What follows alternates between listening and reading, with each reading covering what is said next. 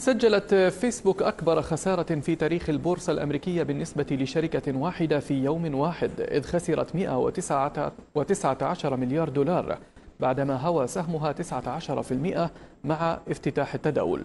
وفقد الرئيس التنفيذي لفيسبوك مارك زوكربيرغ نحو 16 مليار دولار من ثروته نتيجة تكبد سهم الشركة أكبر خسارة يومية في تاريخ البورصة الأمريكية. خبراء ماليون يقولون إن الانهيار في سهم فيسبوك جاء بعد يوم واحد من إعلان الموقع أرباحا مخيبة للأمال في الربع الثاني من العام الجاري وتوقع الشركة انخفاض هوامش الربح لسنوات عديدة.